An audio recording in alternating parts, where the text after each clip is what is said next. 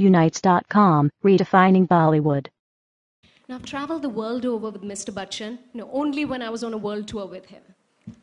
But it's so interesting to see Mr. Bachchan, who, of course, is a phenomenal talent, unparalleled.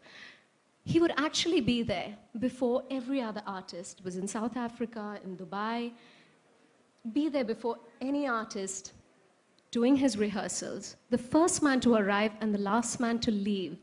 You still keep doing that. This is so inspiring. How do you do that after so many years? Well, I think that uh, if you made a professional commitment of being somewhere on time, uh, that's the least that anyone can do, is to be there on time. And if uh, you're going to be involved in the management of that event, then you make sure that you come in there to see that people like you are comfortable and to make sure that when you leave, you leave with equal comfort. That's why I stay back till the end. Thank you for watching. Click on the subscribe button and stay tuned.